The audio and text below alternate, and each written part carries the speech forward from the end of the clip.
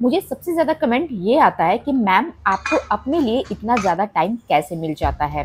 मुझे तो 24 घंटे में अपने फेस धोने का भी टाइम नहीं मिलता है। वेल होम मेकिंग एक ऐसी जर्नी है जहाँ तीन सौ पैंसठ दिनों में आपके लिए एक भी दिन छुट्टी नहीं है। लेकिन लेकिन आप अपना टाइम मैनेजमेंट को सही करके अपने लिए बहुत सारा समय निकाल सकते हैं। और जब चाहे इस होम मेकिंग की जर्नी से छुट्टी भी ले सकते हैं। तो जैसा कि मुझे अपने हेयर के लिए एक हेयर मास्क बना था, यानी यानी कल मैं हिना लगाने वाली हूँ तो एक रात पहले ही मैंने इसकी प्रिपरेशन कर रखी है। क्या क्या है कि एक बोल में सबसे पहले डाला है हीना। तो जितने आपके बालों का लेंथ है, उस हिसाब से आप हीना या मेहंदी को ले ले, और उसके बाद मैं यहाँ पर भींगराज का पाउडर डाल रही हूँ। ये मैं डालूँगी दो चम्मच, उसके बाद डालेंगे आंवला पाउडर और नेक्स्ट मैं डाल रही हूँ हिबिकस यानी गुड़हल का जो पाउडर आता है, वो मैं यहाँ पर इसमें इंक्लूड कर रही हूँ। देन इसका पेस्ट बनाने के लिए मैंने गैस पे पानी को गर्म करने के लिए रखा है और इसमें डाला है चाय पत्ती और कॉफ़ी पाउडर क्योंकि मुझे अपने बालों का कलर थोड़ा सा ब्राउन चाहिए, इसलिए कॉफ़ी पाउडर का यूज़ और ये हेयर मास्क लगा के हेयर प्रॉब्लम भी बिल्कुल खत्म हो जाए, इसलिए यहाँ पर मैं थोड़ा सा काला जीरा, ये जिसे हम मंगरेला कहते हैं, वो पानी में डाल रही हूँ। अब इस पानी को हम ठंडा करेंगे और जब ये ठंडा हो जाए तब इसमें डालेंगे हम कोकोनट ऑयल। ये आपके बालों को ड्राई होने बिल्कुल नहीं देगा। तो धीरे धीरे करके मेहंदी में डालते जाएँगे। और इसे लगातार हम मिक्स करते रहेंगे। आप चाहे इसका और अच्छा रिज़ल्ट पाने के लिए इसे लोहे के बर्तन में मिक्स कीजिए। देन इसे हम ओवरनाइट के लिए एज इट इज़ छोड़ देंगे। नेक्स्ट मॉर्निंग क्या करूँगी सबसे पहले इसे अप्लाई करेंगे। अप्लाई करने का तरीका बिल्कुल सिंपल सा है। आप अपने बालों को इस तरह से सेक्शन में कीजिए सबसे पहले। छोटे छोटे बालों को लीजिए और उसमें चारों तरफ़ हीना को लगाइए और इस तरह से सेक्शन वाइज आप अपने पूरे बालों को खुद ही कवर कर सकते हैं। आपको अदर कोई भी हेल्पिंग हैंड की ज़रूरत बिल्कुल नहीं पड़ेगी। मैंने अपने पूरे बालों को अच्छी तरह से कवर कर लिया है। लेकिन ये वाला हेयर मास्क मैं बिल्कुल मॉर्निंग में अप्लाई करती हूँ। यानी सुबह जैसे ही मॉर्निंग में सो के उठी ब्रश वगैरह करके मैं सबसे पहले ये हेयर मास्क को लगाया ताकि इस हेयर मास्क से मेरी दूसरी चीज़ें बिल्कुल डिस्टर्ब ना हो। अब इसे लगा के मैं अपने घर के सारे काम करूँगी। क्योंकि इस हेयर मास्क को एक से दो घंटे एज इट इज़ छोड़ना है तो ये एक से दो घंटे मैं तो बर्बाद कर नहीं सकती। तो इसलिए सबसे पहले इसे लगा लिया और उसके बाद घर के सारे काम। तो किचन में ब्रेकफास्ट तैयार हो रहा है और उससे भी जब टाइम मिला, यानी कोई सब्ज़ी वगैरह पक रही हो, तब मैं आ जाऊँगी अपने बेडरूम में सारे बेडशीट वगैरह को क्लीन करके और पूरे बेडरूम को ऑर्गेनाइज करने के लिए। वेल हिना लगाने सबसे मेन बात है कि जिस दिन आप लगाए, यानी इस दिन मैंने अपने बालों को नॉर्मल पानी से जस्ट वॉश आउट कर लूँगी, कोई भी शैम्पू वगैरह इस्तेमाल नहीं करेंगे। रात में यहाँ पर मैं सरसों तेल अपने पूरे बालों में लगाऊँगी और नेक्स्ट डे यानी दूसरा दिन, मैं शैम्पू से अपने बालों को पूरी अच्छी तरह से साफ़ करूँगी। ऐसा करने से हिना का कलर बहुत ही अच्छा आता है। अब चूँकि क्लीनिंग रूटीन में मेरा आज था मेन गेट को क्लीन करना, मैंने अपने हर दिन के लिए अलग अलग रूटीन बनाया हुआ है अलग अलग डे बनाया हुआ है। तो पूरे घर को इस तरह से डिवाइड किया है कि हर पोर्शन घर का मैं कवर कर सकूँ और हर एक कोना साफ़ सुथरा नज़र आए। तो सबसे पहले मेन गेट में जो जो चीज़ें मैंने लगा के रखी है, जितने सारे अपने डी उन सारे को हम साफ़ करेंगे। और उसके बाद सू को अच्छी तरह से ऑर्गेनाइज करेंगे। कभी कभी जल्दबाजी में बच्चे या खुद हम ही अपनी चीज़ों को अनऑर्गेनाइज कर लेते हैं, लेकिन वहाँ पर हम दो मिनट का समय देकर अगर उसे सही कर दे तो ये लंबे दिनों तक एज इट इज़ ऑर्गेनाइज रहेगा।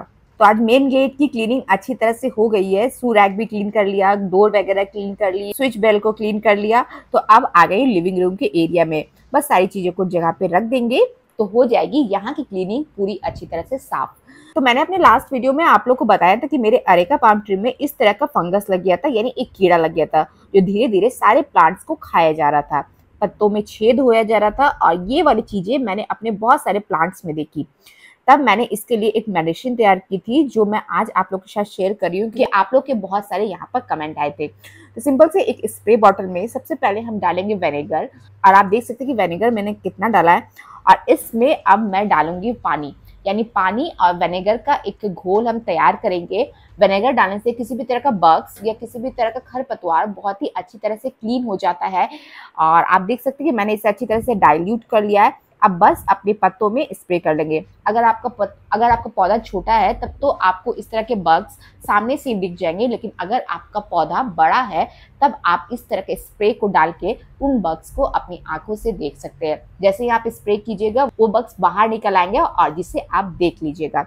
ये देखिए मैंने इसे देख लिया है और यही वो बग है जो मेरे सारे पत्तों को बर्बाद कर रहा था। और मानसून के दिनों में इस तरह की प्रॉब्लम हमारे प्लांट्स वगैरह के साथ आती है। ये सिर्फ़ मेरे अरेका पाम ट्री को खराब नहीं कर रहा था, ये मेरे बहुत सारे पौधों में इस तरह के बग्स लग गए थे।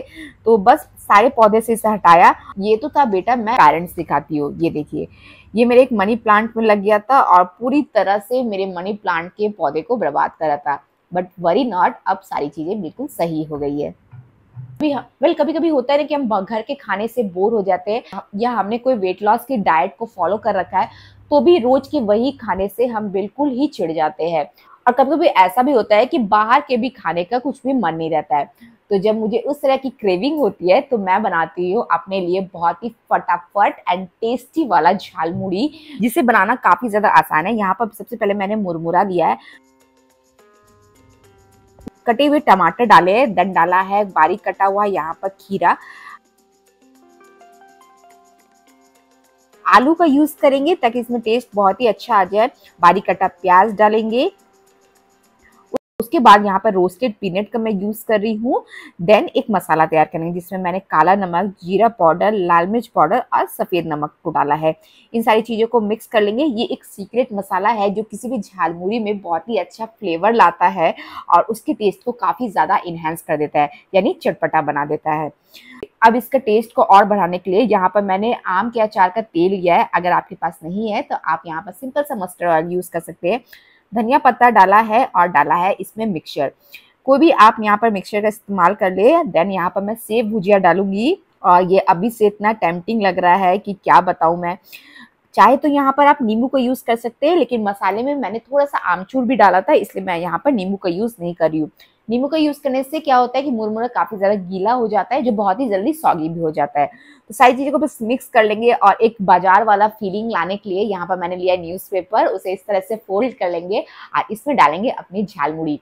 इंस्टेंट बन के तैयार हो जाता है जब भी आपको कुछ चटपटा खाने का क्रेविंग हो या अपने डाइट में कुछ अच्छा खाना चाहते हैं और साथ ही साथ वो बहुत ही ज़्यादा टेस्टी हो तो इस तरह की झालमुड़ी को घर पे ज़रूर ट्राई करें, आपको बहुत ही ज़्यादा सेटिस्फेक्शन मिलेगा। So that's all for today अगर आपको मेरी ये वीडियो पसंद आई हो तो जाते जाते इस वीडियो को लाइक का बटन प्रेस करना ना भूले। अगर आप मेरे चैनल पर पहली बार आए हैं तो ज़रूर से सब्सक्राइब करें मेरे चैनल को, ताकि आपको इस तरह की यूजफुल वीडियोस हमेशा मिलती रहे। तो चलिए, मैं प्रिया, आप लोग से फिर से मिलूँगी न्यू वीडियोस के साथ यूजफुल वीडियोस के साथ। तब तक के लिए बाय बाय